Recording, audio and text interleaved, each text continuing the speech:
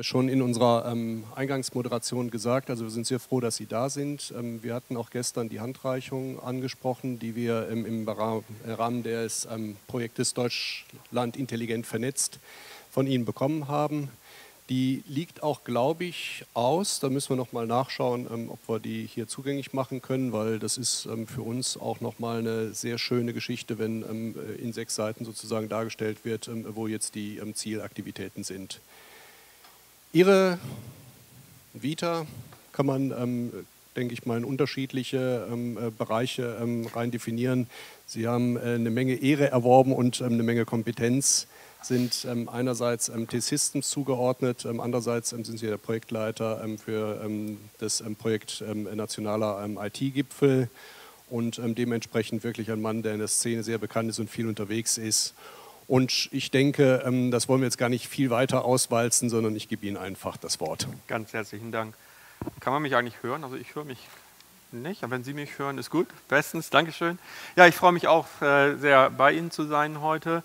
Ähm, ich habe wahrgenommen gestern und auch äh, heute, dass einiges von dem, was ich sagen könnte, schon gesagt wurde. Also insofern ähm, äh, werde ich natürlich versuchen, nicht zu wiederholen und auch nicht zu sehr ins Detail zu gehen, ähm, was jetzt die einzelne Arbeitsgruppe oder das Dokument angeht. Sie können auch im Nachgang alles nachvollziehen. Das ist alles sauber dokumentiert und ich werde gleich mal versuchen, auch ins Web zu gehen. Mein Thema heute, über das ich mit Ihnen reden möchte, ist die Frage, wie wir ähm, intelligent vernetzte Städte und Regionen ähm, dazu nutzen, um die Digitalisierung in Deutschland in die Fläche zu bringen.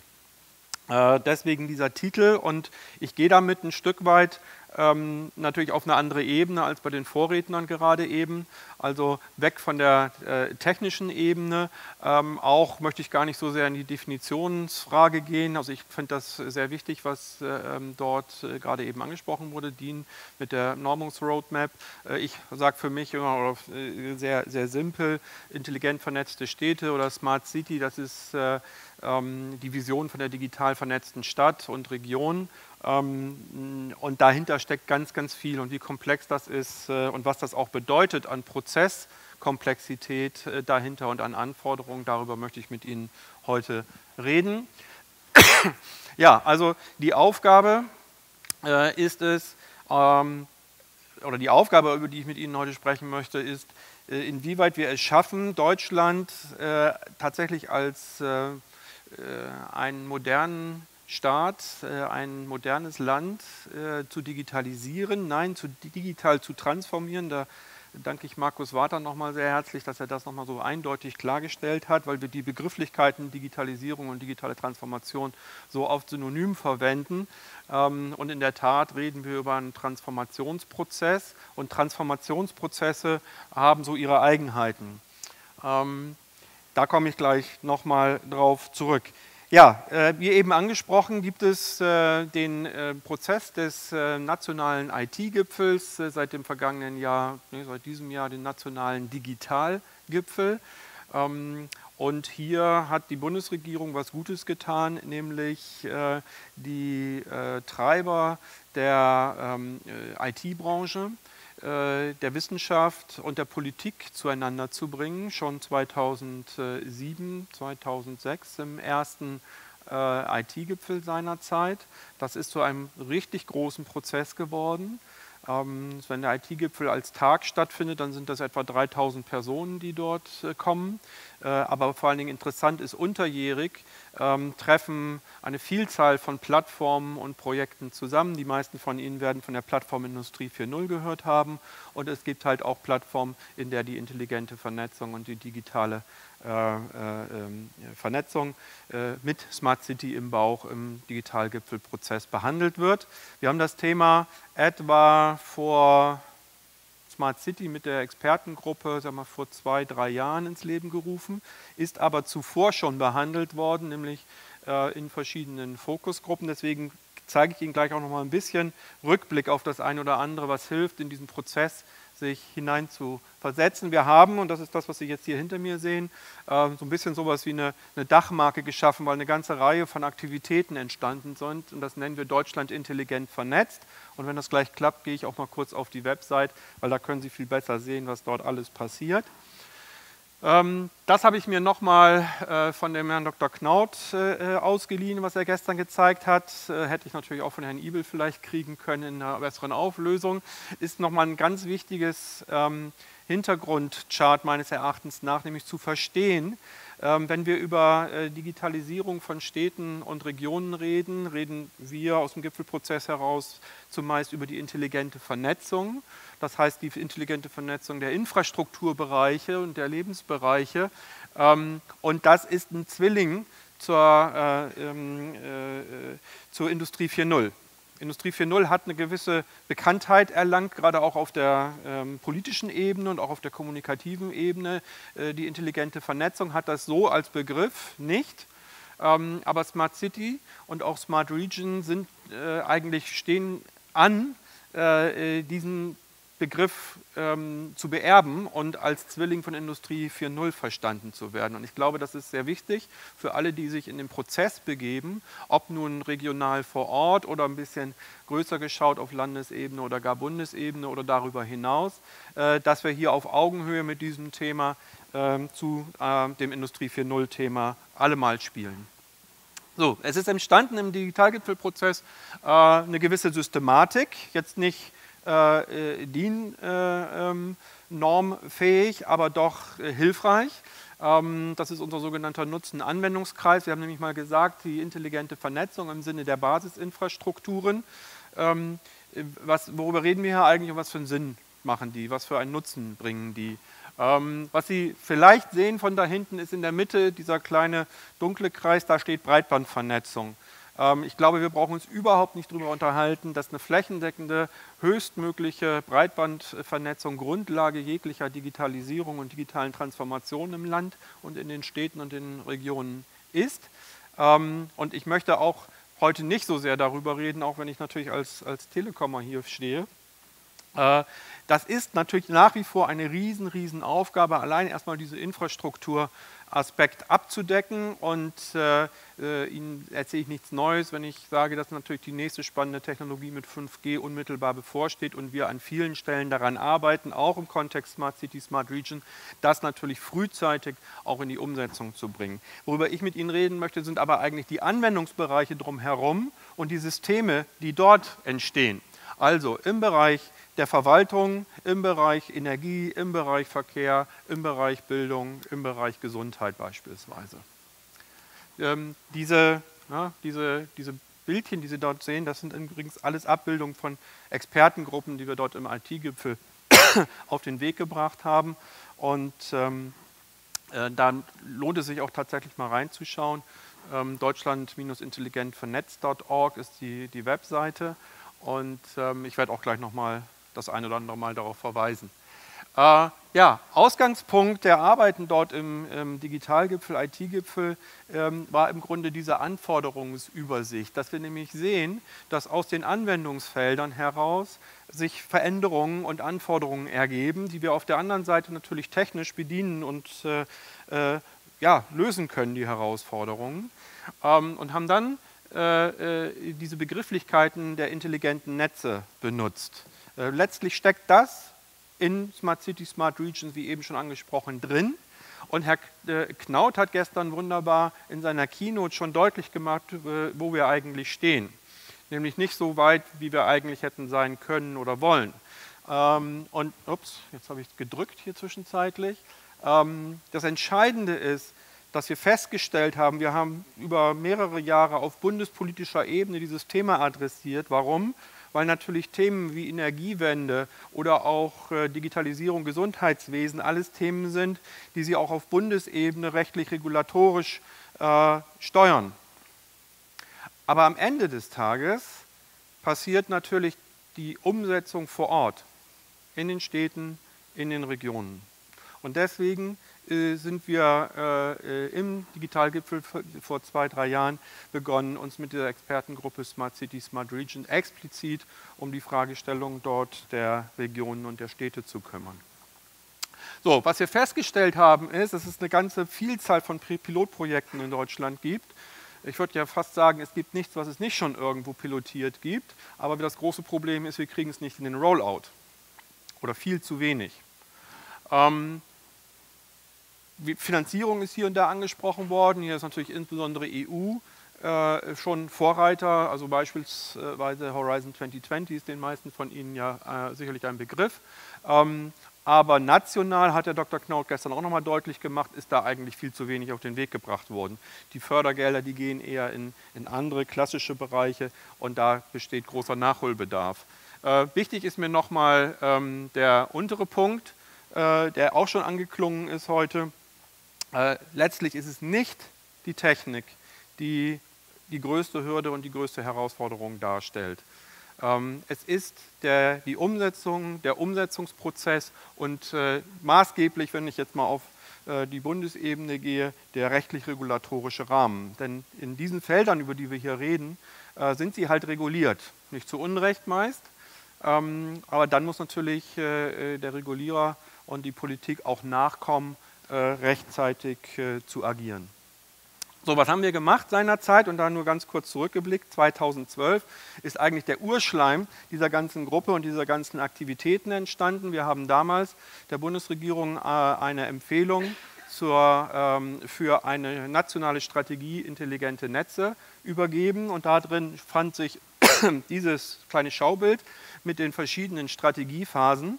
Und im Grunde, wenn der Dr. Knaut gestern auf äh, die Strategie intelligente Vernetzung verwiesen hat, ist das ein Ergebnis dieses Anschubs seinerzeit im IT-Gipfelprozess. Ähm, dieses Schaubild ist äh, äh, weniger interessant, wenn man sich die Zahlen anschaut, weil da haben wir schon gesagt, wir, wir liegen deutlich hinter dem Zeitplan, sondern vielmehr ist eigentlich das hier interessant, das hier unten, nämlich welche Ansätze wir jetzt in welchen verschiedenen Phasen haben. Wir haben relativ lange gebraucht in Deutschland und ich glaube, das ist in den Städten und Regionen letztlich nicht anders, überhaupt erstmal eine Reformfähigkeit herzustellen, Aufmerksamkeit äh, zu erlangen und letzten Endes das zu erreichen, was wir hier mal mit politischer Führung benannt haben. Ja, es ist einfach notwendig, egal ob vor Ort oder auch auf Bundesebene, dass jemand vorwegläuft und auch etwas will. Und wenn er es will, muss er es natürlich auch verstanden haben, äh, um es auch richtig kommunizieren zu können. Das ist an der einen oder anderen Stelle hier auch schon angesprochen worden, dass äh, die Rolle des Bürgermeisters ganz entscheidend ist, äh, um als Vorwegläufer tatsächlich auch Antrieb zu generieren. Ähm, die nächste Phase, die wir damals schon definiert haben, ist konzertiertes Handeln. Und das ist das, worauf ich Sie eigentlich aufmerksam machen möchte mit dem äh, auch den, den Prozessen bzw. den Aktivitäten, äh, die ich Ihnen hier vorstellen kann. Das ist nämlich, äh, wir reden über einen Multi-Stakeholder- und Multi-Ebenen-Prozess, wenn wir von der Digitalisierung oder der digitalen Vernetzung von Städten und Regionen reden. Nicht mehr, aber vor allen Dingen auch nicht weniger.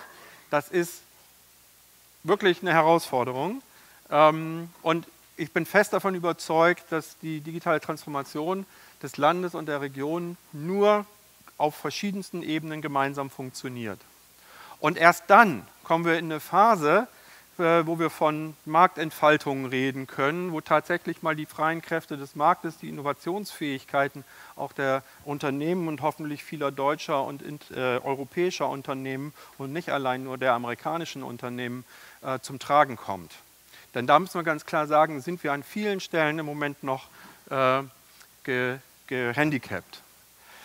Ähm, ja, das nur noch mal ganz kurz äh, äh ein, ein, zweites Bild aus, aus diesem, dieser Strategieempfehlung seinerzeit, die deutlich macht, wie diese äh, auf verschiedenen Ebenen Gesellschaft, Wirtschaft, Politik fußend ähm, wir in verschiedene Phasen oder durch verschiedene Phasen gehen ähm, und die nationale Strategie, die Herr Knaut angesprochen hat, oder die Strategie intelligente Vernetzung, sehen Sie hier ganz vorne. Die hatten wir mal für 2013 vorgesehen, gefordert. Die haben wir natürlich jetzt sehr spät bekommen und auch nicht in dem Maße, äh, wie sie eigentlich äh, fachlich, inhaltlich notwendig wäre. Deswegen arbeiten wir im Moment sehr intensiv daran, dass die digitale Agenda 2 äh, der Bundesregierung wesentliche Elemente bezüglich Smart Cities, Smart Regions, intelligente Vernetzung in den Regionen auch enthält. Das heißt, nehmen, blenden wir mal die, die, die, Zahlen wieder aus. Also bis wir tatsächlich bei, bei einem Rollout landen, wird jetzt noch einiges Zeit vergehen. Ähm, aber das Grundkonzept ist sowohl der Bundesregierung als auch den beteiligten Unternehmen an der Stelle bekannt. Worauf ich Sie hinweisen möchte, schon wieder so ein blödes Bild, ähm, ist, sind unsere Webseiten an der Stelle. Und ich versuche jetzt mal da reinzugehen. Nee.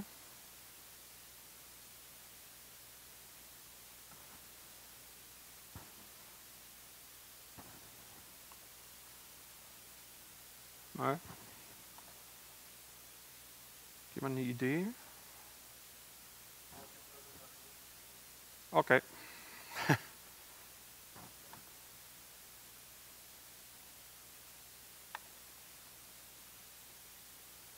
Wo sind wir? Da sind wir. So, dann probiere ich das mal eben. Ne, tut's. Na, egal. Ähm,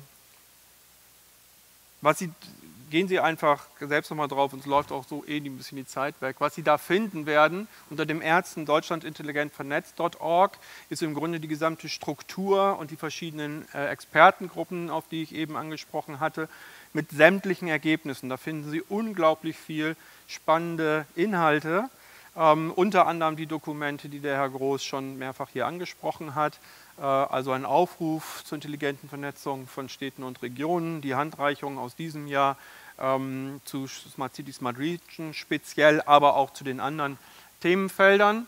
Und unter diffreport.de finden Sie äh, für diese äh, äh, Kernthemenfelder Status- und Fortschrittsbericht.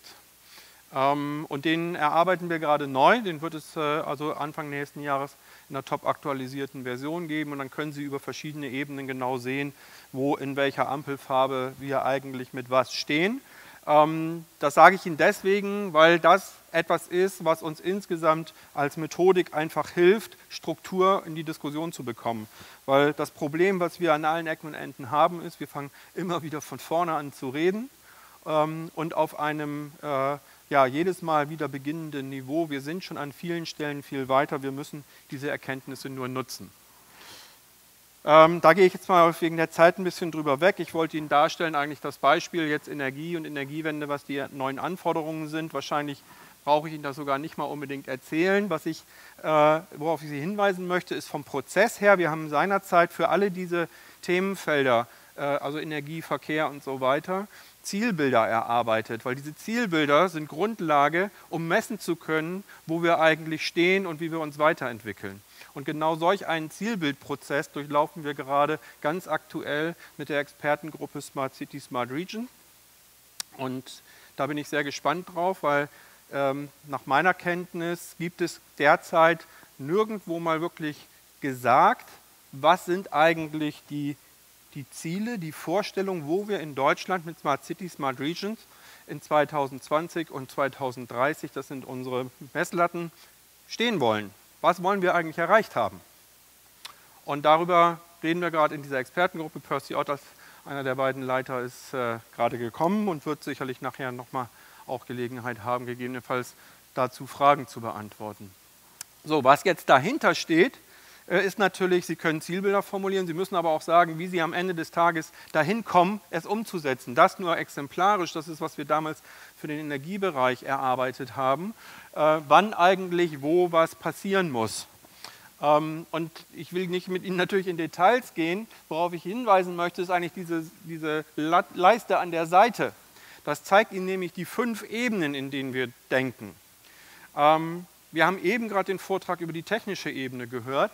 Äh, wir haben natürlich immer eine prozessuale Ebene. Wenn wir über Finanzierungen und Businessmodelle äh, reden, sind sie in der Business-Ebene. Ich habe es angesprochen, die Problematik in der rechtlich-regulatorischen Ebene.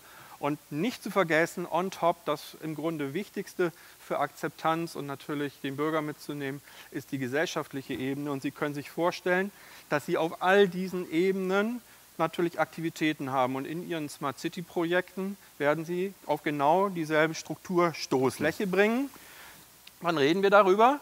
Dass wir das Ganze nicht nur in einer Stadt, in zwei Städten, in drei Städten, sondern im ganzen Land, in allen Städten und Regionen haben. Das ist also explodiert, die Komplexität äh, und das Ganze gepaart mit einer entsprechenden, das haben Sie eben schon gesehen bei dem äh, Markus Warta, also die Komplexität innerhalb äh, einer, eines, einer Stadt, Äh, das Ganze nochmal gepaart mit der zunehmenden Geschwindigkeit, die Argumentation um die zunehmende Geschwindigkeit in der digitalen Welt brauche ich Ihnen auch nicht erklären, nur das Bild nochmal in Erinnerung. Also, zunehmende Komplexität und zunehmende Geschwindigkeit sind die Herausforderungen, für die wir, vor denen wir stehen.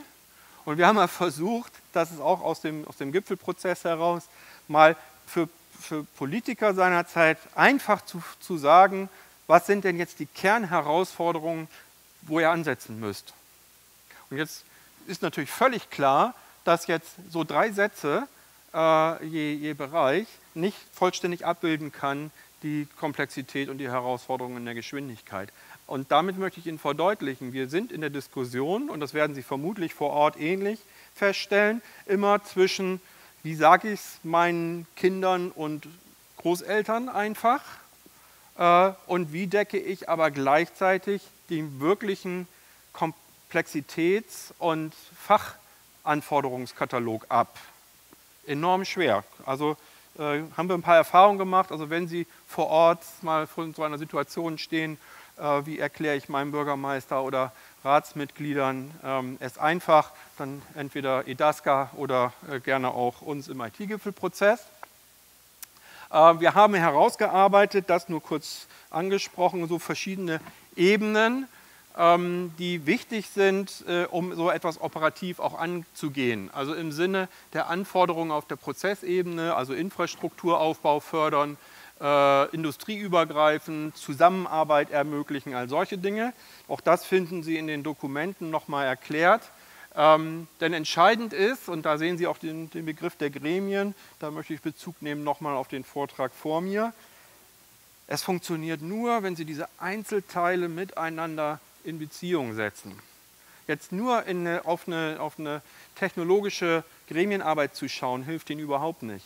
Auf der anderen Seite nur, sag ich mal, jetzt in Foren zu gehen, Smart City Forum fällt mir gerade ein, äh, wo, Sie sich mit den Städten zusammentreffen, äh, reicht Ihnen auch nicht. Sie müssen also die verschiedenen Aspekte äh, integrieren und das ist eine, doch eine ziemliche Herausforderung. So, wer muss jetzt eigentlich was tun? Ähm, das ist mal jetzt ein bisschen schnell zusammengefummelt und ließe sich natürlich beliebig äh, vertiefen. Wir haben diverseste Workshops durchgeführt und Sie finden über die Webadressen, die ich Ihnen gerade genannt habe, eine weitere Webadresse, nämlich äh, div-konferenz.de. Da haben wir Konferenzen, Workshops durchgeführt, ähm, wo wir genau diese Fragen gestellt haben, wer muss jetzt wann was tun, um was zu erreichen. Dieser Prozess ist noch nicht abgeschlossen, das werden wir sicherlich noch häufiger äh, bearbeiten müssen, weil wir festgestellt haben, dass da die Zeit von einem Konferenztag auch nicht wirklich gereicht hat. Ähm, so, noch weitere Grundlagen. Was braucht es? Ein ähnliches Bild. Äh, alles mehr oder weniger schon die Tage angeklungen. Sie brauchen natürlich erstmal eine Vorstellung, wo es hingehen soll. Ähm, wir haben gehört, Berlin mit der Strategie, mit der Vorgehensweise. Wir wissen aber genauso, jeder hat seine eigene Vorgehensweise. Die einen sehr strategisch, mit einem großen Batzen Papier strategisch vorgearbeitet, die anderen sehr agil und sehr ad hoc, aber dafür vielleicht auch ein bisschen schneller äh, etwas Sichtbares vor Ort zu produzieren. Beides hat seine Berechtigung. Ähm, sie brauchen Ressourcen, sie brauchen Menschen und sie brauchen Geld. Ähm, und wer immer denkt, ein Smart City Projekt äh, oder ein Smart Region Projekt angehen zu können als nettes Versprechen, der nicht Ressourcen hinten mit hineinpackt, wird scheitern. Da fangen Sie am besten gar nicht erst an, das ist Unsinn. Kein Projekt der Welt funktioniert ohne Ressourcen und ohne Geld. Und wir reden hier über wirklich große und komplexe Projekte. Nächstes wichtiges, entscheidendes Thema ist Know-how. Äh, völlig klar, aber wir haben da eine, ein Riesenproblem. Jeder wird sagen, natürlich äh, braucht man, aber wir haben zu wenig davon. Wir haben zu wenig Know-how, Fach-Know-how auf der digitalen Ebene. Wir haben viel zu wenig Know-how auf der Prozess- und Projektmanagement-Ebene. Haben wir gestern auch nochmal in einem Vortrag schön gehört. Und wenn wir Know-how haben, dann haben wir das siloartig und äh, profitieren viel zu wenig davon, wo andere an anderer Stelle äh, schon Know-how generiert haben. Also insofern Riesenbaustelle, wo ich glaube, dass wir gerade auch in der Kooperation mit VDE äh, eine Menge noch äh, bewegen können.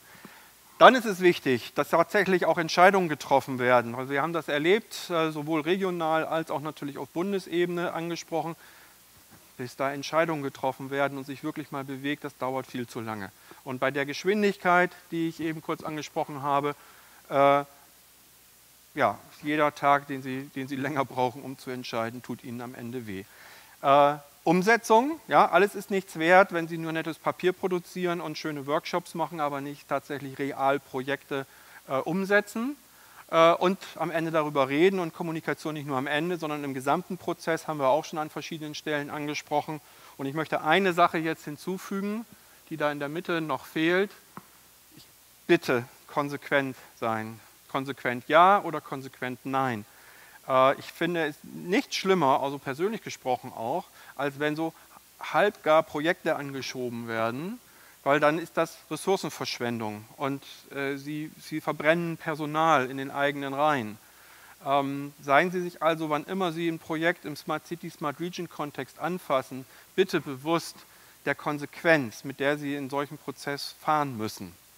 Ähm, und reden Sie mit vielen äh, äh, guten Leuten, die es inzwischen gibt, die erste Erfahrungen da gemacht haben. Ähm, ein Hinweis noch, wir haben äh, neben den Dokumenten, die schon angesprochen worden sind, zum IT-Gipfel, nee, zum Digitalgipfel in diesem Jahr äh, einen Aufruf an die Bundesregierung übergeben, ähm, nämlich Zukunft wird vor Ort gemacht, was wir jetzt tun müssen, um die digitale Vernetzung voranzubringen, recht high level zugegeben. Ähm, Ziel ist dahinter, dass aber das Thema in der Bundespolitik äh, stärker verankert wird und das zielt auf drei Bereiche. Erstmal nochmal Bewusstsein schaffen, im Politikerkopf auch verankern, äh, Modellregionen voranbringen und Modellregionen nicht im Sinne von den 10.000 Piloten nochmal, sondern tatsächlich in Modellregionen in die Realumsetzung zu kommen und diese Modellregionen miteinander dann äh, zu vernetzen. Da hat äh, der Herr Dr. Knaut ja gestern auch schon von gesprochen, was das äh, BMWI in Planung hat. Und nicht zuletzt und äh, zuvorderst die Zusammenarbeit stärken. Und da möchte ich Sie auch explizit aufrufen, gerne, wenn Sie Interesse haben im Digitalgipfelprozess ähm, oder auch bei Bitkom, für die ich ja heute hier auch stehe, ähm, mitzuwirken.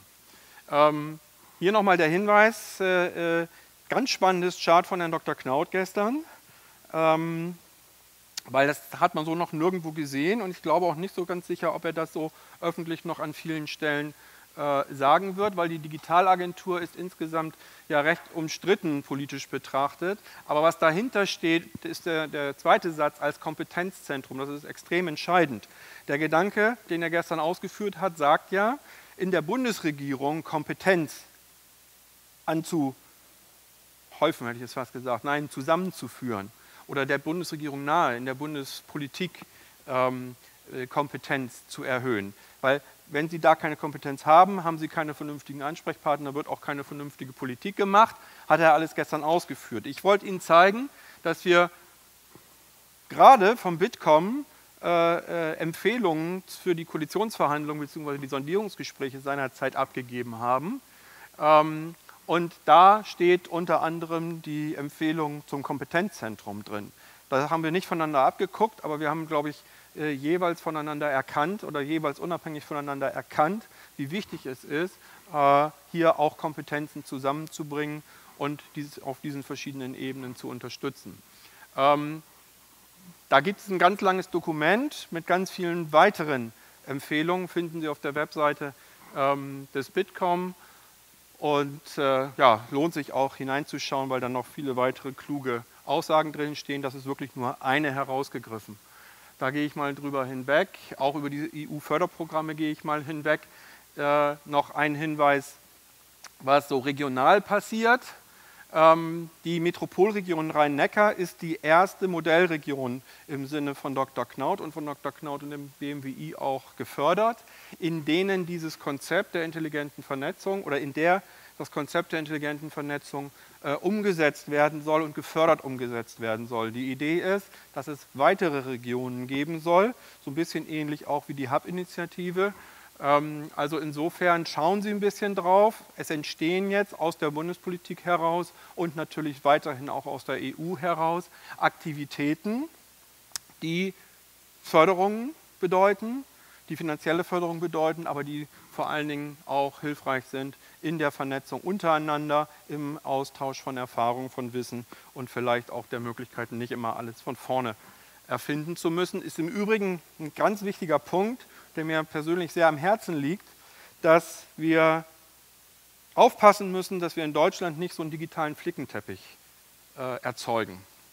Weil jede Stadt macht so für sich rum, äh, realisiert den Silo und einen anderen Silo, also jeweils Lösungen, die nur so für sich gedacht sind. Äh, innerhalb einer Stadt mag das ja tatsächlich auch noch funktionieren. Aber wenn Sie dann anfangen, dass Sie natürlich Lösungen haben, die über Stadtgrenzen hinweg funktionieren müssen, und dann ist die nähere Region ist ja der einfachste Fall, äh, aber äh, Elektromobilität oder andere Dinge funktioniert halt nicht nur in Stadtgrenzen. Und das heißt, Sie müssen äh, insbesondere auch auf der technischen Ebene, ups, insbesondere auch auf der technischen Ebene schauen, dass sie, dass sie die Kompatibilität und die Interoperabilität und die Datenaustauschmöglichkeiten gewährleisten. Deswegen ist auch die DIN-Aktivität äh, so sehr wichtig. Äh, aber auch darüber hinaus ähm, glaube ich, sind wir gut beraten, wenn wir jetzt Initiativen nutzen, die existieren, um auch die Zusammenarbeit zwischen Städten auch auf der Ebene der, des technischen Austausches zu fördern. So, und ein weiteres Beispiel, was ich mitgebracht habe, aber da ist der Herr Torre gleich äh, ähm, auch noch auf der Bühne aus Darmstadt. Das ist der Bitkom Digitale Stadtwettbewerb. Ähm, eine, denke ich, äh, herausragend auch äh, kommunikativ aufgenommene Maßnahme, ähm, um äh, in Deutschland äh, Städte zu unterstützen und hier jetzt explizit eine Leuchtturmstadt zu schaffen. Aber äh, man wäre natürlich töricht, wenn man jetzt nicht daraus ein Netzwerk äh, schaffen würde ähm, und äh, tatsächlich auch äh, anderen Städten oder in Zusammenarbeit mit anderen Städten ähm, Mehrwert generieren würde. Ja, das also spare ich mir jetzt, ich glaube, ich weiß gar nicht, wie jemand auf die Zeit geguckt hat, ähm, will ich nur noch das kurz sagen äh, vielleicht auch in Anlehnung an den Vortrag gestern bezüglich des Projektmanagements. Ähm, ich habe die Konsequenz nach wie vor noch mal in der Mitte stehen, aber die Thematik, äh, wie steuere ich jetzt diesen Prozess, auch Markus Warter hat es eben angesprochen in so einem Phasenmodell, ähm, ist extrem wichtig. Tauschen Sie sich darüber aus. Ähm, äh, es gibt genug Leute, die über Rollen äh, und Prozesse und Verantwortlichkeiten und Strukturen schon Erfahrung gesammelt haben und ähm, überlegen Sie sich das nicht alles komplett von vorne. Woran wir als nächstes weiterarbeiten werden, sind insbesondere auch die Methoden, auch jetzt projektmanagementseitig, wie gestern mal angesprochen. Gut, ja, das wäre es von meiner Seite als Impuls und äh, gehen Sie auf die Webseiten und äh, wenn Sie mitwirken möchten, lassen Sie es uns gerne wissen. Ja, Herr Müller, erstmal einen Applaus für Sie. Vielen Dank dafür und äh, vielleicht auch noch mal ein kleiner ähm, Hinweis ähm, äh, für ähm, die Organisation ähm, des ähm, heutigen Vormittags. Äh, wir werden, ähm, weil jetzt die Zeit etwas vorangeschritten ist, den Speakern eher ein bisschen mehr Zeit geben und nachher ihnen die Möglichkeit geben, direkt Fragen an die Speaker zu stellen. Das heißt also die Schlussrunde, die ja vorgesehen ist, die opfern wir der direkten Fragerunde. da sagten Sie ja gerade, also da sind Sie jetzt dabei, das nochmal zu aktualisieren. Hat sich denn da was groß getan? Also wir haben die ersten grünen Ampeln. Ich kann verraten, als wir 2012 äh, das erste Mal den DIF-Report rausgegeben haben, gab es nicht eine grüne Ampel, es war nur rot und gelb. Ähm, jetzt gibt es einige grüne Ampeln, aber das sind natürlich deutlich zu wenig. Ähm, bisschen was getan hat sich bei Bildung. Äh, bisschen was getan, ne, doch deutlich getan hat sich auch bei, bei Gesundheit ähm, und bei Energie. Nee, bei Energie eigentlich mehr als bei Gesundheit. Ähm, da möchte ich mal verweisen, auch auf diese Webseite, äh, Diff Report. Frage. Ich bin Michael Luppertz von Energy News TV. Die Frage, die ich an Sie habe, geht eigentlich einher damit, die berühmte Kette ist ja meistens nur so stark, wie das schwächste Glied ist. Äh, wenn ich jetzt also den Breitbandausbau nehme oder überhaupt die, die, den ganzen Kommunikationsbereich, die Digitalisierung nehme, ich bin häufig in Brandenburg unterwegs äh, und finde dort sehr viele Oasen der Entschleunigung, um es ganz vorsichtig auszudrücken. Äh, die Frage ist, wie schaut es denn damit aus? Das heißt, gibt es da zum Beispiel die LTE-Lösung? Wird die weiter ausgebaut? Ist das im Plan? Ähm, oder ist es eben wirklich tatsächlich etwas, was man ja oft in der Politik hört? Naja, da will keiner so richtig hin. Es ist ein wirtschaftliches Problem. Da bauen wir nicht aus, da mhm. bringen wir kein Geld. Wie, wie sieht die Situation dort aus? Ja. Also ich denke, dieses, dieses Problem ist seit langem eigentlich allen Beteiligten bewusst und klar. Es gibt erstmal niemanden mehr, der jetzt irgendwie nicht sagt, Breitbandausbau flächendeckend muss sein. Äh, die Frage ist allein, wie man das tatsächlich erreicht. Es gab verschiedene Ansatzpunkte. Das eine war äh, über Beratung, weil äh, es ja ein, ein, eine Grundsatzentscheidung gab, dass der Breitbandausbau privatwirtschaftlich, ökonomisch erfolgen soll. Der Staat hätte ja auch sagen können, ich habe hier Daseinsvorsorge und ich statte alle aus mit Glasfaser. Hätten sie natürlich nicht finanzieren können, aus seiner äh, damals schon nicht. Äh, aber es soll ja privatwirtschaftlich organisiert werden. Also insofern muss man auch damit leben, dass Unternehmen nur da investieren, wo es sich auch rechnet. Ähm, das ist erkannt, dieses Problem, und insofern wird das vom Bund ja auch über Förderprogramme inzwischen adressiert. Äh, da gibt es ganz, glaube ich, ganz, ganz praktische Hürden, die sagen, äh, dass, dass, dieses Fördervolumen gar nicht ausreichend ausgeschöpft wird, dass Kommunen und, und Regionen äh, Unterstützung brauchen, wie sie eigentlich sich da annähern, wie sie das tun. Und letzten Endes brauchen sie natürlich auch Leute, die es tatsächlich nachfragen. Also das kann ich als, aus der Telekom-Sicht sagen, dass wir schon die Erfahrung gemacht haben, dass der Ruf natürlich nach Breitband immer sehr groß ist. Aber wenn sie tatsächlich reingehen und fragen, ja, wer braucht denn jetzt ganz konkret, dann wird das plötzlich relativ wenig. Ja, genau. Deswegen, also ich, ich habe nicht umsonst Konsequenz da reingeschrieben. Ne? Wenn ich entscheide, dass es privatwirtschaftlich ausgebaut werden soll, dann heißt das eben halt sowas, dann muss ich anders entscheiden. Je nach, also, oder ich muss entsprechende Unterstützung geben. Aber da kann ich sagen, da wird intensiv dran gearbeitet und da wird es ja auch in der nächsten Legislatur weitere äh, breite Unterstützung und Fördermaßnahmen geben, weil das ist ja nun wirklich ganz oben äh, auf der politischen Agenda. Also ich persönlich gehe davon aus, dass wir hoffentlich dieses Problem der, der äh, äh Funklöcher und der, der Netzlöcher nicht mehr haben werden in, in allzu naher Zeit.